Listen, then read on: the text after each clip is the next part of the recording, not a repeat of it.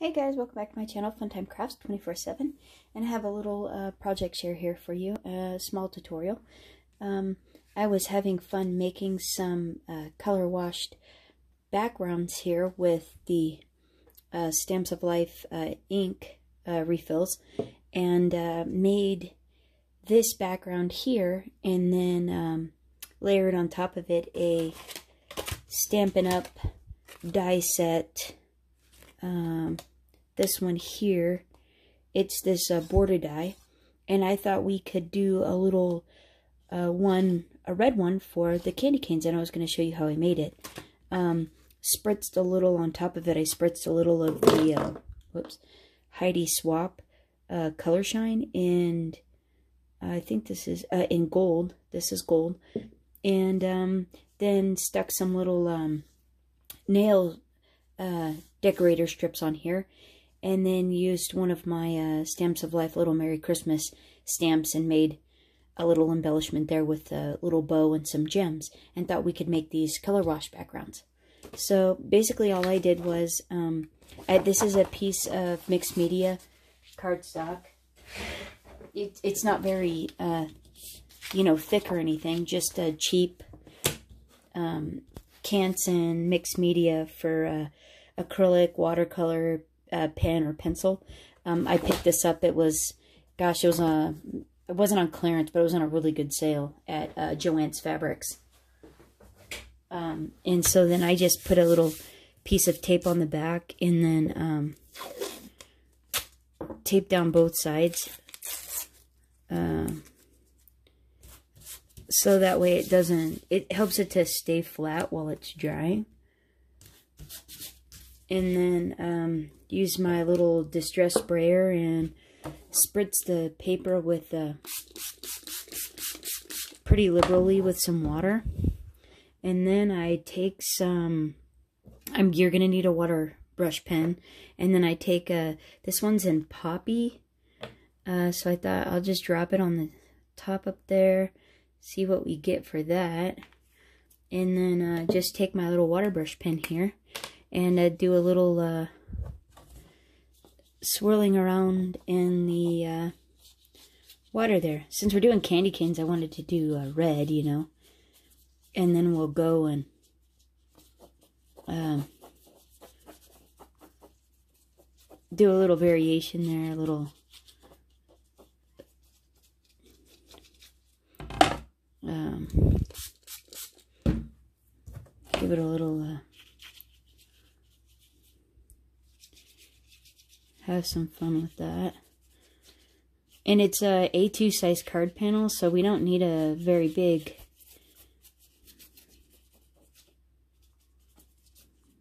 uh, piece. And there you have it. You just do that, let this dry for a little bit, and then you get that really fun uh, ombre effect with the different colors and things. And then uh, I just wash my water brush out all the way to the end. Um, and then you can use uh, the various colors in different projects. See, and then it'll it'll all even out after. But I like I actually like all the different colors.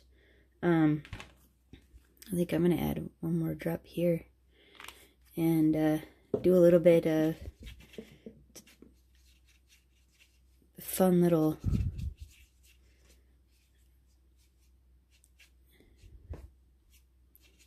I like all the different colors like that. And so um, that's all we do with that. Let's uh, let that dry and then I'll show you what we do after that. Okay, so I hit that with my heat tool to help it dry a little bit faster. And then um, what I do after that is I just um, pop a little of this gold or if you've got mica spray or whatever you have to go on top of this. Uh, actually, let's put uh, mica spray on the top of this one. And, uh, well, this is a Hero Arts little uh, shimmer spray here. Oh, oh, and it's in gold. Uh, this is the stuff I use too for the uh, Celestial background. uh, for the Mountain Moose class, uh, on my version of it, I used a shimmer spray on the background, and boy, it sure adds a really nice touch of shine and uh, sparkle to your project. So then we'll let that um, dry. I'll hit it with my heat tool, and then we'll come back and we'll uh, use this fun little candy cane Stampin' Up die. I'll be right back. Okay, so there we go. Uh, all dried up there, and I cut it down to three and three quarters by five. Um, then I cut out a white um, panel that is four or four by five and a quarter uh, to mount this on top of. Then I cut out an A2 size card base in Poppy since we did use the Poppy ink on this. And um, we're to stack them up like that. And then um, I cut out this uh, Stampin' Up little um, edge die, uh, the candy cane one. Um, I originally did it in this, that little opalescent cardstock that I got from Tonic Studios. Um, this here. But I didn't think that it added it quite enough. So I thought, well, let's go ahead and use up, use the glitter paper. And I think that really, that does it. It, it brings in the, um, it picks up the poppy color and really, uh, the white, matte helps it to really stand out and really pop there. So um, I, I did that. And so then this piece here is the same uh, length as this, which is the uh, five inches. And um, then it just, you, you just cut it out. I, I actually cut out a five by three and three quarters panel, put that on and then um, centered up the die on it on the panel to where I would get all the candy canes and then it would cut off the two little candies on the top and the bottom uh, to get that panel there. There was a little like a little ting, uh, an extra little piece off the bottom that I did cut off. I just snipped it off with some scissors.